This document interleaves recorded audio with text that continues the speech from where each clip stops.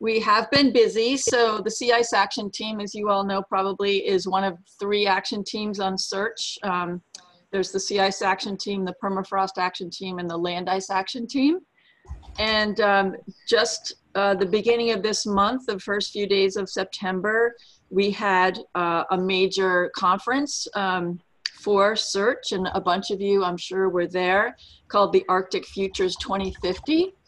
And it was um, we worked really hard on organizing this conference to make it not your typical science conference. It was really more geared towards trying to engage with policymakers. We held it at the National Academies building in Washington, D.C., and we had a, a really great turnout actually. Um, we had almost 400 attendees, um, almost about 20 of them were policy oh no, sorry, more like a hundred had some relate, some influence or some connection to policy making. So we feel pretty good about that. Um, there was about uh, 22 plenary sessions, including 14 panel sessions, and we had a tabletop demonstration. So it was a very different kind of a conference.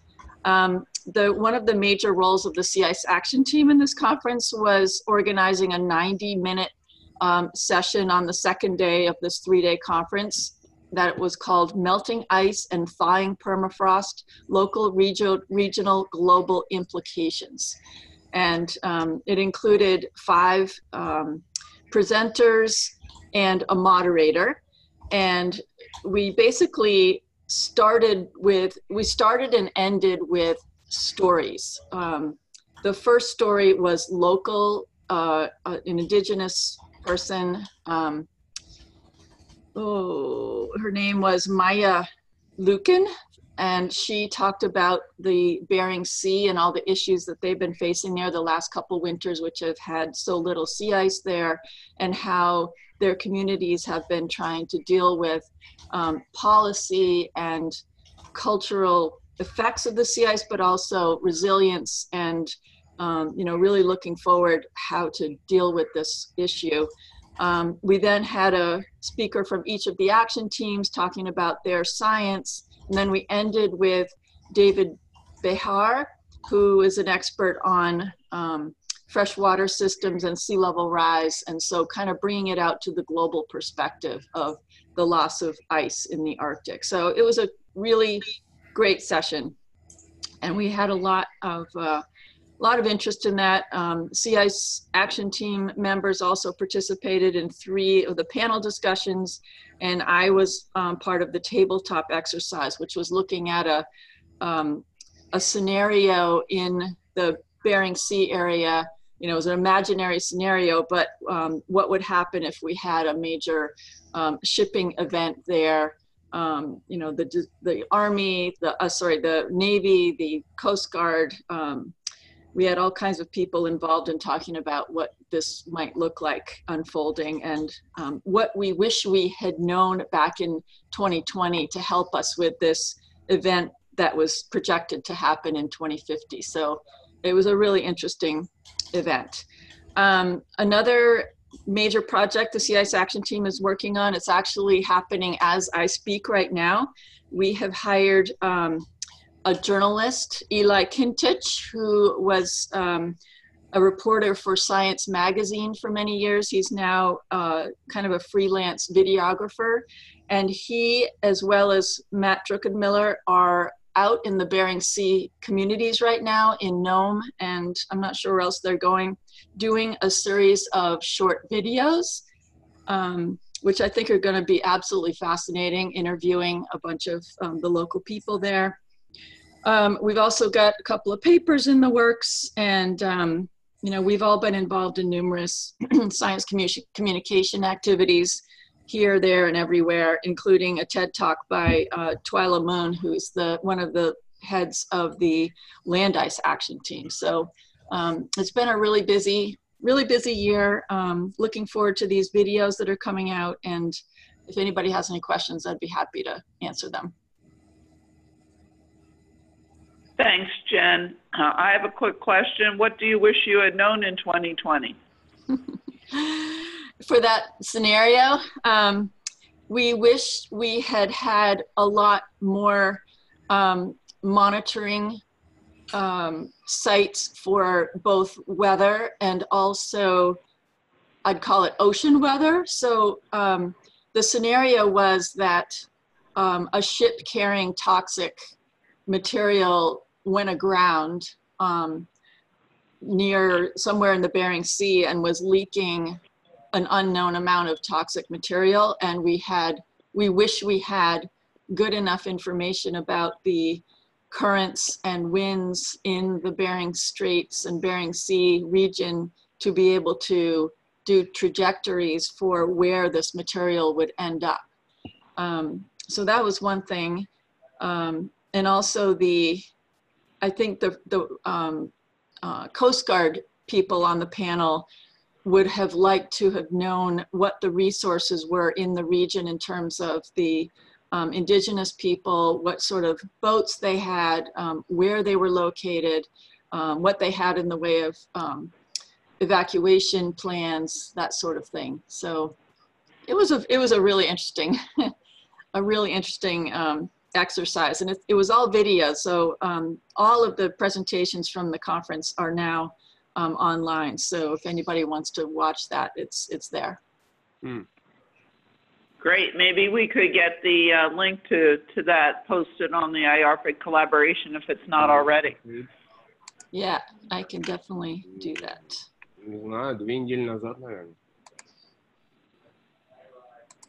Is there another question?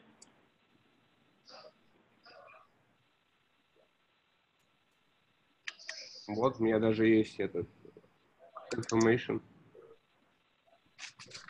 Okay, I'm going to post the link to it right now. В середине сентября. Okay, thanks, Jen. Are there any other other uh, questions for Jen? Hi, Jen. This is Betsy Turner Bogren with ARCUS. The uh, lessons learned that, or the uh, questions of what you would have wanted to know in 2020 reminds me of the lessons learned from the Deepwater Horizon that, you know, several years ago. Did the, were some of them, was there any overlay or comparison to those lessons learned? Yes, in fact, there was um, a woman from the Navy, and I don't have all those names right in front of me right now, but um, she had been involved in in that recovery and that um, response. So she had some really interesting lessons learned to uh, report to the group, um, and you know just how how difficult it is to think about all the potential um, issues that can arise and uh, potential um, people and resources that might be needed in any given disaster like that. So, um, but they learned a lot from that, she said, and um, you know, going forward and doing these sorts of real tabletop exercises. This was more of a demonstration um, type um, exercise, but uh, she said it's it's they've learned a lot from that, and um, they're as they move forward. Of course, it's a different situ- situation in the Arctic, but um, they they definitely can apply some of what they learned in this case.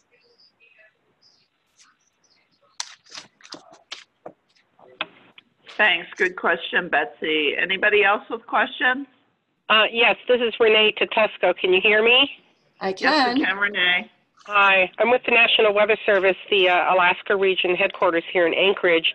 Um, has was was uh, anybody from the Arctic Domain Awareness Center uh, involved in in that meeting by any chance? Yes, I'm looking at the list of people who are on that panel now, and um, Randy Church Kee was there. Uh huh. Okay. So he was on the panel. Excellent, uh, because I know he has hosted a number of workshops um, here in Anchorage over the last couple of years where uh, they have focused on various tabletop exercises. And the one that just took place this past May um, was on a similar sort of um, um, situation as what you described. So I'm, I'm glad to hear that ADAC was plugged into that. I'd be interested in any uh, feedback that Church might have offered. Right. Um, if my memory were better, I could whip that off for you right now, but um, I think you're going to have to watch the video. Um, but the woman I was just mentioning um, with respect to the Deepwater um, catastrophe there was Rebecca Pincus, and she was from the U.S. Naval War College. So there are some pretty pretty cool people on this panel. It was very interesting.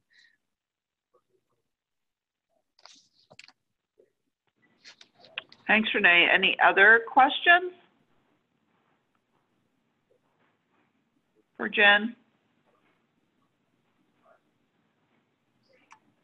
Okay, I think, thanks so much, Jen, for that great update. You sound busy, and I'm also excited to see these videos. It's excellent to see this level of communication going on with regard to, you know, what's going on in the Arctic and also the ever increasing uh, connectivity between uh, research and I think local communities uh, is really encouraging. Yeah, and Eli Kintisch is a real pro, so um, they're going to be really good, I think. He's done some other really interesting Arctic work. So if you want to Google him, um, he went on a ship last January and did a series of videos about that. He was up uh, east of Spitsbergen. Um, so he's a very experienced guy and he's an excellent writer, and I think they're going to be really good. So we're excited. Super. Can you give us the na- his name in the chat as well Yeah, so yeah, folks yeah. can? Okay, thank you. Uh, so without further ado, a drum roll. We have uh, Walt Meier on, and I think we're going to get to hear a bit about the uh, the uh, sea ice minimum for September 2019. Walt. Okay, thanks, Jackie. Um, let me see if I can share my screen here. Um, this will work. Okay. Everyone see that? Yep, looks good. Everyone sees that? Okay. Um, all right, thanks. Thanks, Jackie. Um, so yeah, as folks probably uh, have been following along, um, we, we basically have had a photo finish for second place. Um, so uh, you look at the, this is our daily um, at NSIDC, we, we were at 4.15 million square kilometers on September 18th was the minimum. Um, and uh, that ties with uh, 2016 and 2007, essentially a second lowest. Um, and you can see the pattern there on the left. Oops, why can I not advance? Uh-oh, having trouble advancing my. You might have to do it with um, by like clicking the arrow that's um, Uh, okay, I'll do that. There we go. Okay. Um, thank you.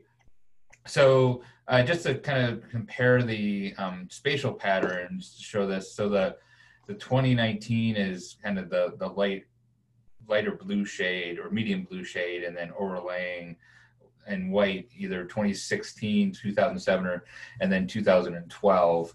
Um, and so, like in 2016, a little bit more ice kind of in the, the Bering Chukchi sector, but without the kind of um, loose groups of floes there, but less in the Laptev Sea. In 2007, um, you know, it didn't get pushed as far northward in uh, kind of the East Siberian sector, but somewhat less ice in the Beaufort Sea area. And then 2012, um, it was pretty much for the most part kind of just retracted farther around the almost the entire perimeter uh, except like the east greenland sea area and a little bit in the, the laptev sea so there's definitely some variability there in, in terms of where the, the ice edge ended up um, in between the three different years um, i think one of the things that's kind of interesting instead of just looking at one year or, or comparing a couple years um, looking at kind of uh, the broader range in the, in the trends in the ice. Um, and uh, this is a nice figure that Michon Scott here at NSIDC put together. And I think one of the sobering things to my mind is you know, the last 13 years, so starting in 2007 through this year, um, those are the lowest 13 years in the 41 year record, um, which I think is pretty interesting. And I'll come back to that in a couple minutes uh, show you that, but you can see here the top 10 uh, listed uh, in the tie for second place there. Um, and looking at kind of what what kind of led to this, at least it, some initial thoughts on that, you know, um, and I, I don't, I, I won't claim that these are complete or, or detailed, but uh, I think some initial things to, to look at. Um, as Jennifer mentioned, and as folks are probably aware, you know, one of the things was a really low Bering Sea ice extent, again, uh, into the, through the winter and into the spring. Uh, we had a little bit of a late ice growth in, in the second half of March, uh, as you can see, uh, but that was obviously all quite thin ice and, and melted away very quickly. So we were coming into May uh, with very little ice uh, compared to normal. And you see that in the right in the melt onset date, obviously the Bering Sea, and then that led into the Chukchi Sea and the, and the Beaufort Sea as well, I think, uh, having very early melt dates. Uh, if you can't see those numbers, it's it's a month or more uh, earlier than normal uh, in terms of uh, melt onset dates. Um, so you, are looking at the atmosphere now. One of the things, you know, and the temperatures, not surprisingly, uh, we had warm temperatures through the summer, June, July, and August. Um, and that's been pretty typical through the through the last several years. Uh, it's always warm, and of course, some of that is is because of the loss of ice is feeding into the atmosphere as well.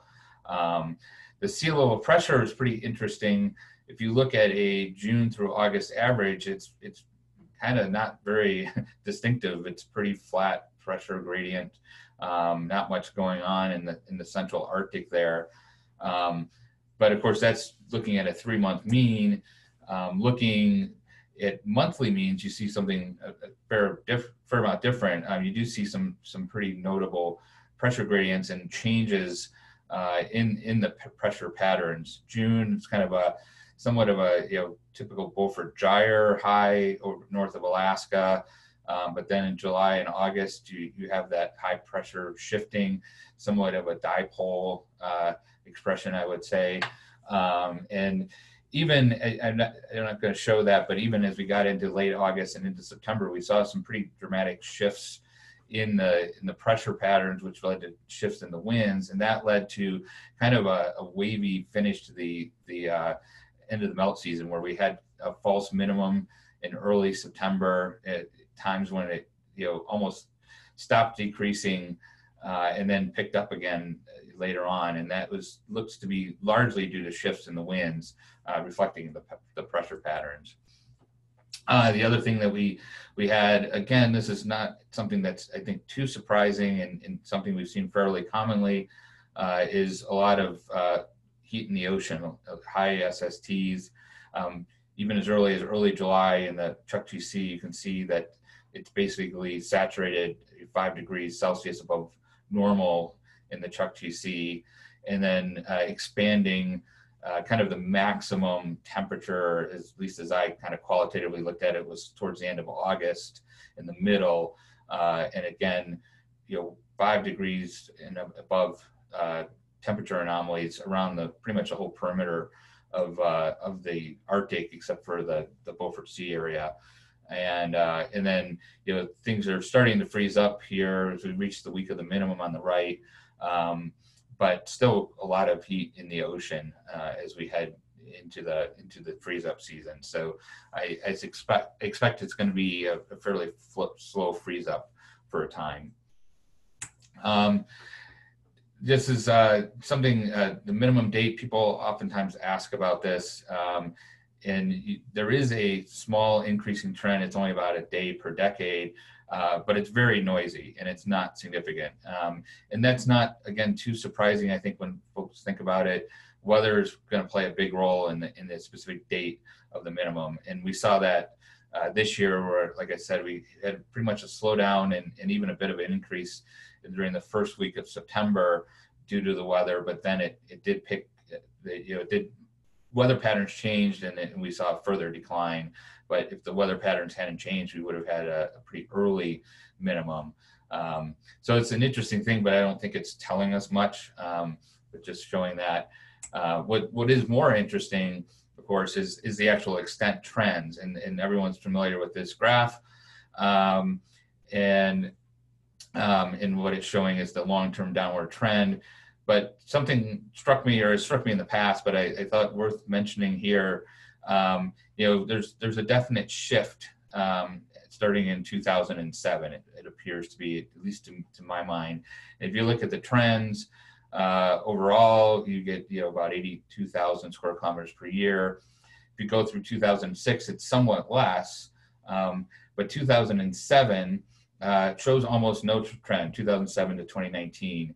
Um, you know, no significant no significant trend at all, and, and almost a zero trend, just very small declining trend. And um, that that as I was preparing this, I, I just kind of quickly got me thinking, and I went through and calculated the trends for every 13 year period starting in 1979. Um, and this last 13 years is the lowest uh, declining trend, the lowest magnitude trend in the record. Um, so I think that's kind of interesting. It raises, at least in my mind, some interesting questions going forward. Um, but you know, we had essentially before through 2006, we never had a minimum uh, below 5.3 million square kilometers, and since then we've never had one built uh, above that. Um, so it's definitely a shift. Uh, it seems to be, to, at least to some degree, in in the uh, in the minimum ice extents. I think one of the reasons for that is is the the ice thickness and the ice age. We, as folks have probably seen, we've lost a lot of the older ice types. Um, 1984 and the upper left versus 2019, obviously, very dramatic change in the four plus year old ice.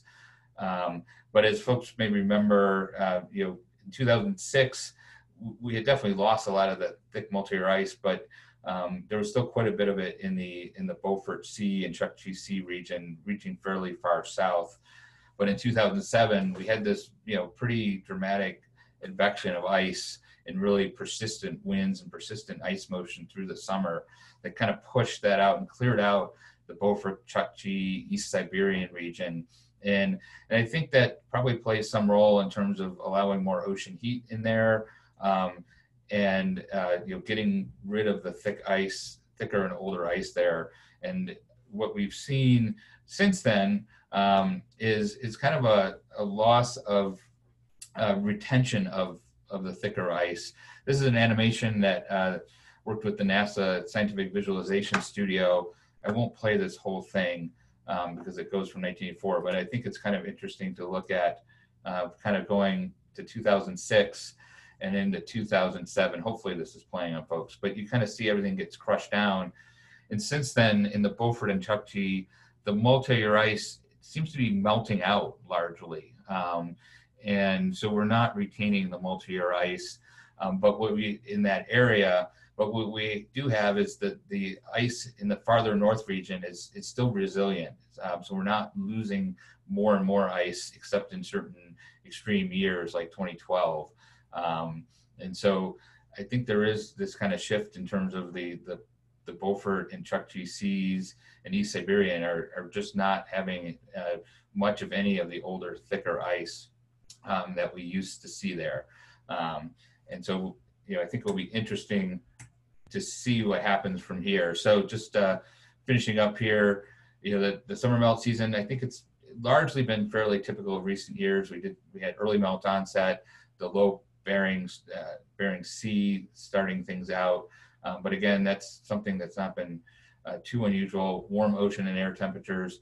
We didn't have a, a, perfect storm of conditions as we did in 2012, so we didn't go as far. We were ahead of 2012 pace for a while, even into August, so it was looking to be quite interesting, but then things slowed down pretty dramatically uh, this year compared to 2012.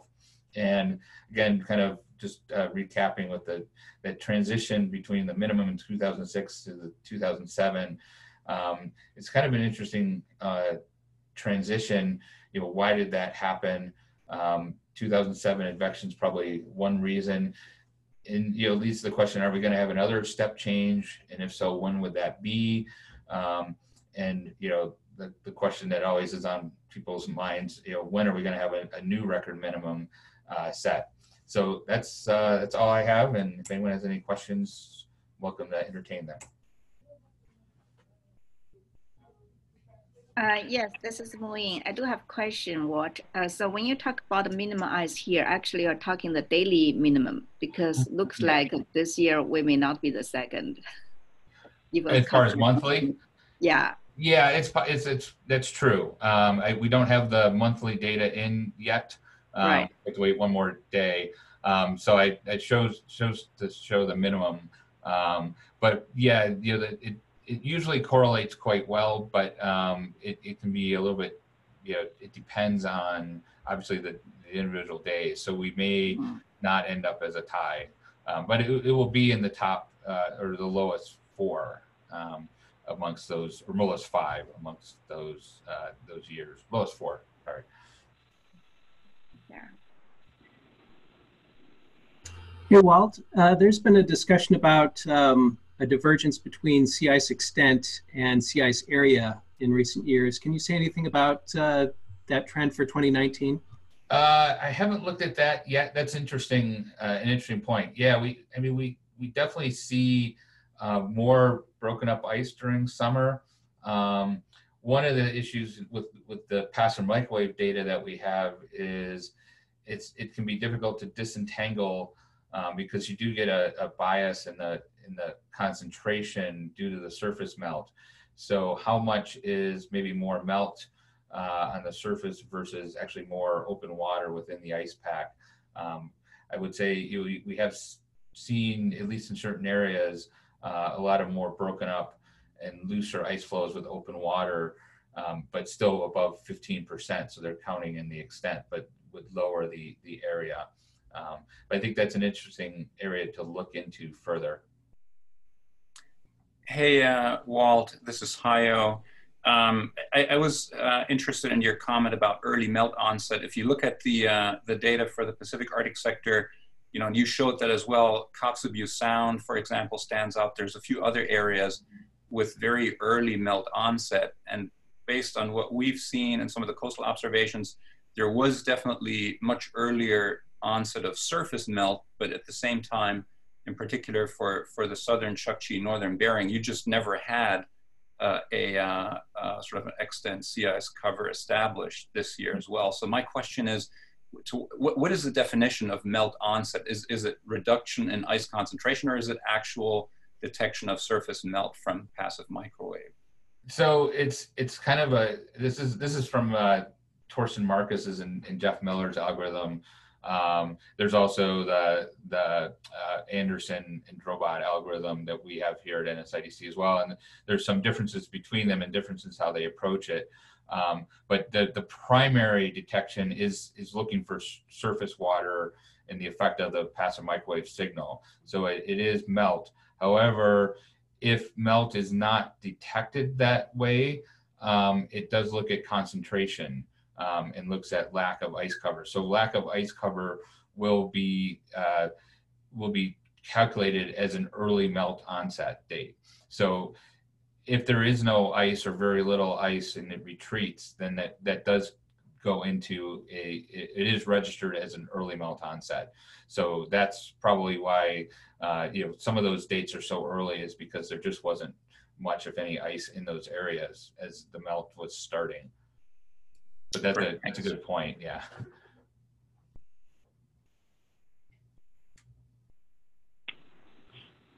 Are there other questions?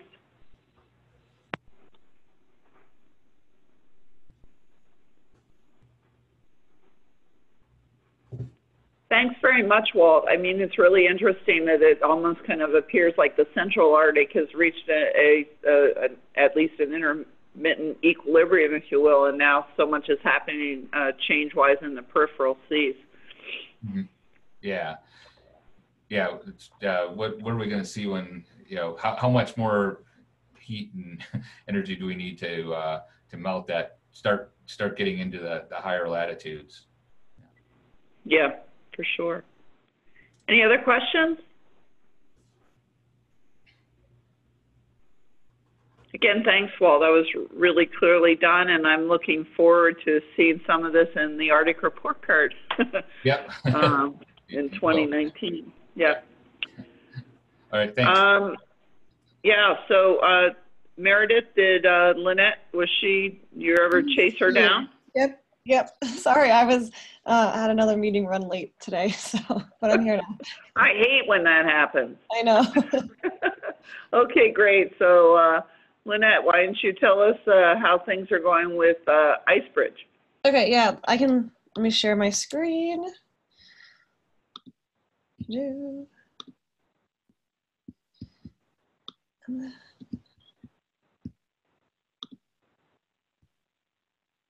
Sweet. So, um, yeah. So uh, I was. I just got back from um, our summer campaign um, a couple weeks ago, um, and so we were based out of Thule, Greenland, for this campaign. And the idea of it was um, to focus on different melting surfaces of the sea ice, snow, and uh, land ice in Greenland. Um, and I'm the deputy project scientist for NASA's Operation Icebridge. So um, it just worked out with timing and issues with the plane that I got to be there for the whole summer campaign um, at the end of the day. So before um, we actually had the campaign, we um, we're going to be based out of both Thule and Kangerlussuaq starting in August 19th and ending in September 15th. And like I said, we wanted to look at um, how the lasers, uh, our ATM lasers, um, interacted with different uh, types of surface melt so we can better interpret our ICESat-2 returns uh, over the, the melting uh, snow and sea ice and then over the land ice and the melt ponds there and the dirty ice and other conditions that are seen in the summer months.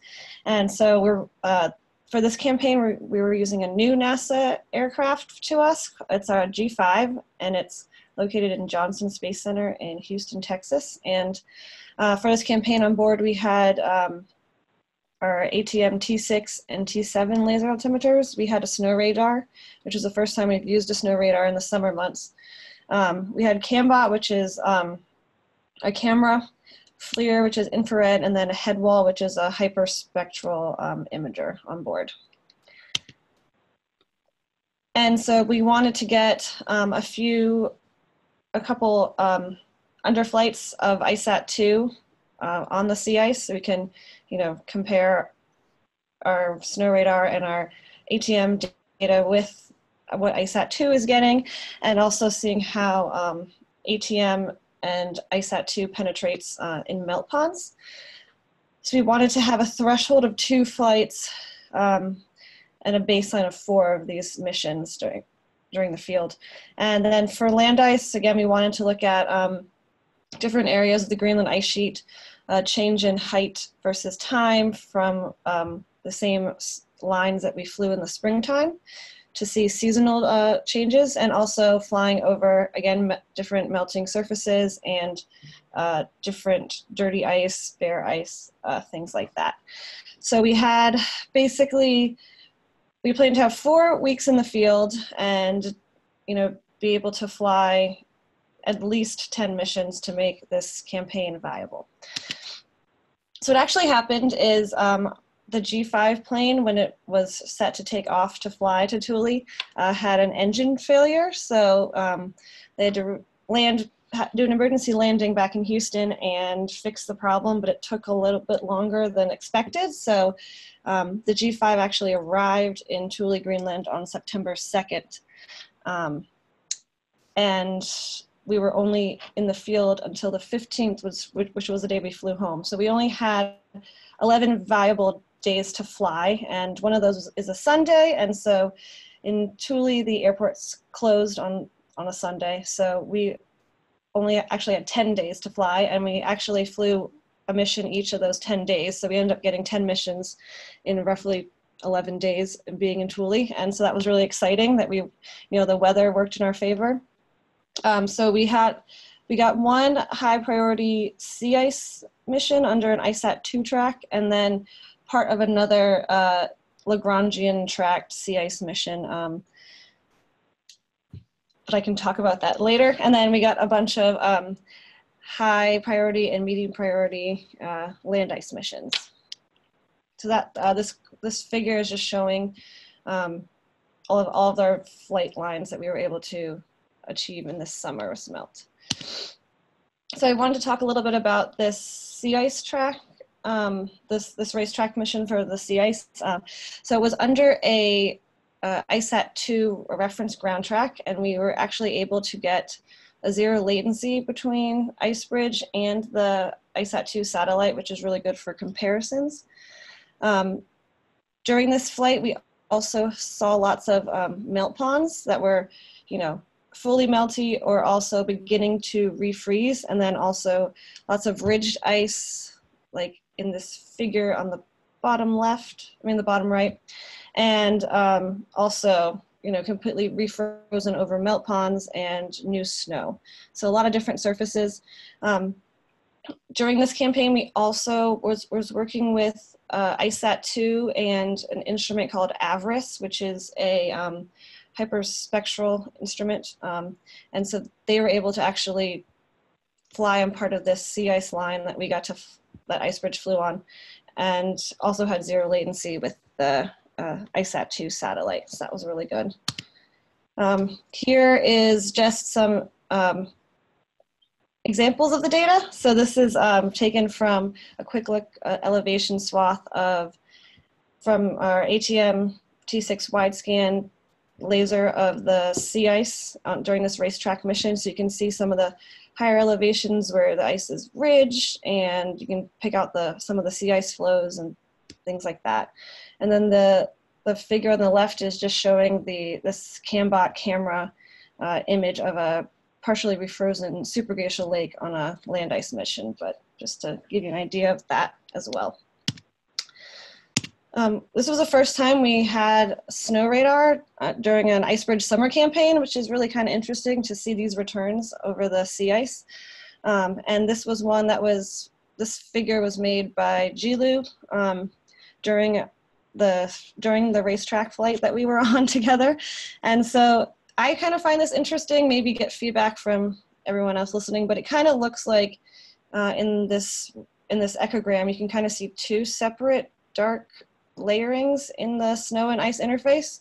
I'm guessing like the top gray parts is a snowpack or a new snow, and this middle dark, darker gray line might be like reef, like a refrozen ice lens in the snow, or something like that. And then the bottom line is the ice pack. But then again, I'm not sure. So just I just thought it was an interesting thing to look at since we haven't really seen something like this in the summer over the sea ice. Uh, here's just a picture of uh, a couple leads and some sea ice floes and some melt ponds on it. That was really pretty that I took. And so yeah, like I said, we were able to fly 10 missions out of 10 possible fly days and we had, we collected 46.3 um, hours of science data we flew over a lot of ICESat-2 ground tracks, um, almost 3,000 nautical miles of them during this campaign, and we had zero latency um, on our sea ice flight that I talked about, and also on an ICESat-2 North land ice flight. Um, thankfully, since we were only based out of because of a shortened campaign, um, the G5 crew and also the range of the of the plane um, kind of saved us because we were able to do or fly a few um, land ice missions that were originally only based out of Kangerlussuaq when we had a, a different plane like the P3 that doesn't have as good of a, a range and speed as the G5. And again, we were able to collect data on lots of different melting snow and ice surfaces, which is ideal and what we had planned and hoped for. Uh, we also did some outreach um, during this campaign. So we had people at NASA Goddard in our social media uh, department that you know posted some of our pictures on Instagram and Twitter, and even um, the even NASA headquarters posted stuff on their their at NASA Instagram page. So we had a lot of likes. Um, and then I also took over the AGU um, Instagram for a few days. I was asked to do that. I was a guest Instagrammer, so I posted a bunch of things during the campaign and reached about 30,000 people as well. And so we have one more final campaign for IceBridge. It's um, this coming fall in a couple weeks. Um, and it's going to be based out of Hobart, Australia, and we're going to be flying over areas of East Antarctica and also the sea ice there. So I'll be leaving again in a couple weeks for that campaign. Um, and we're going to be again using the G5 because of its uh, speed and range. And on that, we're going to have ATM T6 and T7 radars, also the snow radar, I mean, lasers, the snow radar. Um, we're going to have uh, MCoRDS as well, which is a different radar. And also um, IMAR, which is a uh, uh, gravimeter on board for bathymetry underneath the ice. And that time frame is um, our first possible science flight will be October 21st, and we'll be heading home from Hobart on November 24th. And um, this is just, you know, showing some of our baseline threshold amount of flights or missions we'd like to achieve while we're there. So we're looking at hopefully getting at least five um, sea ice missions, some ICESat-2 underflights, and some. Um, one is actually going to be a in situ snow thickness survey overflight out on some fast ice uh, outside of Casey Station. Uh, we're going to have a couple people going down there for ICESat, and they're going to be taking a lot of snow measurements. So we're hoping to fly over them one day and, you know, get some um, good measurements of with with our snow radar on board and as along with ICESat-2. And I think that's it. Yep. so I'll leave it there. I guess I'll open up to questions or anything like that. Thanks, Linnette. Yep. Um, so this is that the Antarctic campaign, then the last official ice bridge campaign yep. for the program. Yep, it's the last official campaign. and Sadly. is are there any other uh, is there any sort of an airborne program envisioned in the future that would um, be done in coordination with uh, the satellite um, imagery um, or measurements? so not one that's going to be called Icebridge, but I think there are some plans to do much smaller, shorter um, CalVal campaigns in the future for ICESat-2. And would those include sea ice as well as land ice? Or? Yes, yeah, yeah, it would be both. okay, great. Mm-hmm. Are there other questions for Linnette? Hi, it's Martin. Hi. Um, Linnette, thanks. Um, it was reported just today that a large, very large iceberg has just broken off the Amery ice shelf. Um, you might want to look that up, and okay. maybe there's an opportunity there for some um, re- replanning of uh, flight lines and so on. Okay, yeah, I'll take a note of that right now.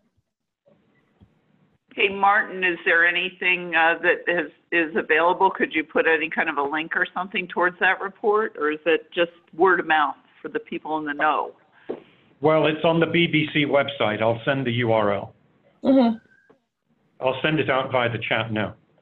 That would be great. Thank you. Okay, thanks. Any other questions?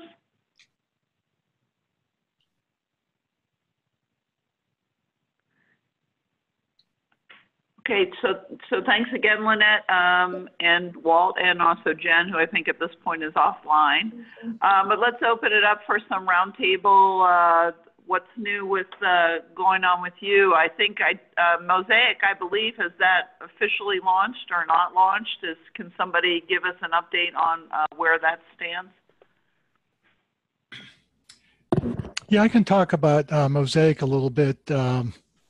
Last Friday on September 20th, uh, the Polarstern and the Fedorov sailed from Tromso uh, en route to the starting point.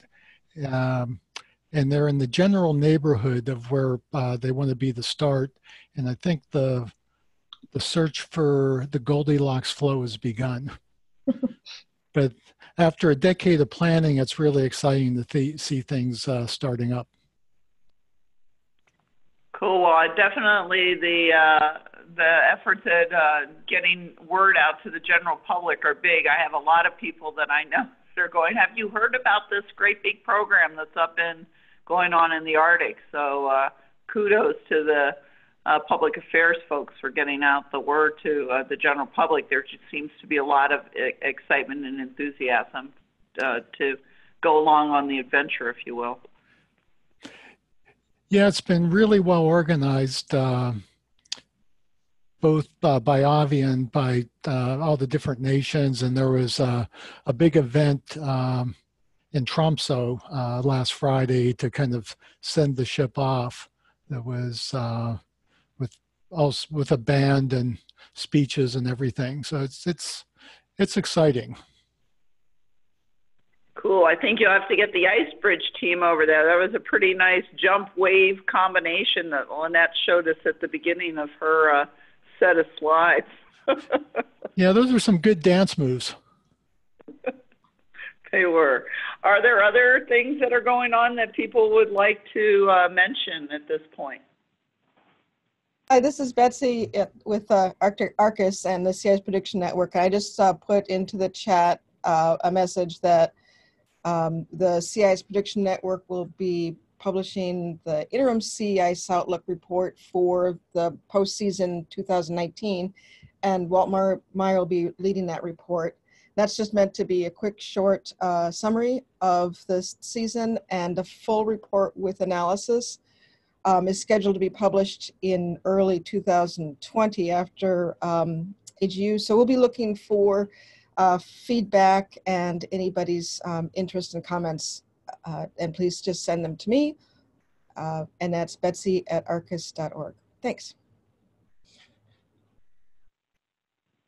Thank you, Betsy. Others? It's Martin again. I was Okay, in Martin Charlottesville. again. Hi, I was in Charlottesville, Virginia last week for the conference on bridging science, art, and community in the new Arctic. And it was one of the very interesting things I learned was that a very large number of artists registered or indicated an interest in participating in the meeting and, and had to be sort of turned away, as it were, because there wasn't enough room. Um, I mention it because, you know, we're all required in some way to engage in education and outreach, um, which is an element, one aspect, possible aspects of broader impacts uh, in NSF language. Um, so I just, just remember there are there appear to be a lot of very interested writers and artists out there who would love to engage with the scientific community and um, even go on your join your field programs, become embedded, work with you as they gather material for for their work, which can help communicate how important our work is.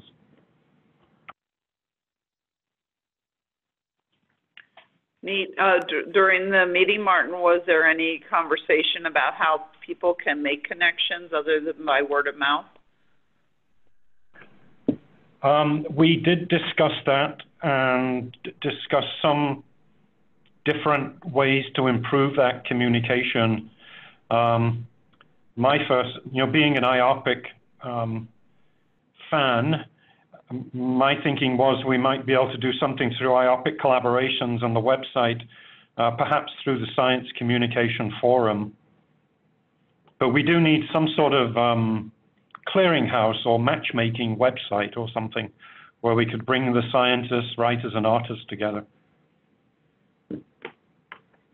Yeah, it's an interesting topic to consider, um, and, and maybe that's something to, to think about as uh, um, we welcome news of the fact that uh, the IARPC uh, principals have given their blessing, if you will, to move ahead with the next five-year plan. So that might be a topic to be considered in that plan.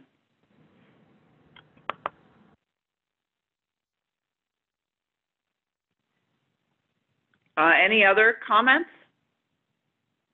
Hi, this is Walt. Uh, I just wanted to follow up on Don's uh, um, mention of Mosaic. Um, I just put it in the, the chat. Like, there's a link to uh, a Mosaic page at, at uh, University of Colorado here, who are at least one of the ones coordinating outreach. And um, you can get weekly updates on what's going on. Um, you can sign up for an email, I think, to do that, or just visit the website. So if folks are interested in following along Mosaic, um, that's a nice resource. Hey, Great, uh, thank you. uh, this is Hajo. Um, I just wanted to um, highlight the fact that we have the Arctic Observing Summit coming up fast in uh, late March, early April in Akureyri, Iceland as part of Arctic Science Summit Week. There's a deadline for white paper submissions through the, uh, the Arctic Observing Summit uh, website, arcticobservingsummit.org. I'll, I'll post a link for that in the chat window here as well. And it's, it's a good time to, for, for this community in particular to think about um, how to uh, work on a white paper, potentially even a joint white paper that looks at what, what are some of the specific next steps that could be taken as there's consolidation of uh, sustained observations under the Sustaining Arctic Observing Networks Initiative or SAON. Sandy Starkweather uh, with NOAA is the vice chair of the SAON board, and she and the broader SAON board have been pretty active in laying out a much more specific roadmap um, uh, for Arctic observing. So as, as part of that, for example, there's now plans to put in place a food security working group that focuses on marine and coastal food security. And um, this group here certainly has expertise to contribute um, observations and, and broader perspective on how to best coordinate that. So I just wanted to highlight that um, Arctic Observing Summit, um, March 31st to April 2nd in Akureyri, Iceland. Thanks. Thanks, Hajo. Well, the hour is coming to an end. I think this uh, meeting was an excellent example of how the IARPC collaboration network can be used in addition to three really interesting presentations. I appreciate the level of conversation people brought to the meeting and the use of the chat room to make a uh, whole host of links that will hopefully uh, folks will find useful. I would like to make a pitch for our next meeting in October, which I think will be October 28th. Is that right, Meredith? Shake your head up and down. Let me double check. Okay, while uh, she's double checking on the on the date of that meeting, I want to point out that the, we're we're focusing, we're circling back on a meeting that we had a couple months ago, a joint meeting with some other teams about uh, hazardous algal blooms. And during that meeting, Don Anderson um, made specific requests to know more about who in the sea ice community might be able to uh, work with um, him and his team and others to help explain the role of sea ice in the timing of these blooms. So I hope uh, uh, those of you at, at this meeting and uh, and the network of folks that you know will come uh, to that meeting in October so that we can help Don uh, Anderson uh, to fill the gap in, in knowledge there that they have with regard to the role of sea ice again in these hazardous algal blooms. Um, so we're looking forward to that meeting. Um, is it 28th of October, right? That's correct. Okay, and it'll be again at 1 o'clock. So we look forward to seeing many of you there. Again, thank you so much for uh, the conversation uh, and again, the, the great example of how this uh, collaborative network works. Have a great Thank you. day. Um, take care, everyone. Thank you. Bye. Thanks, everyone.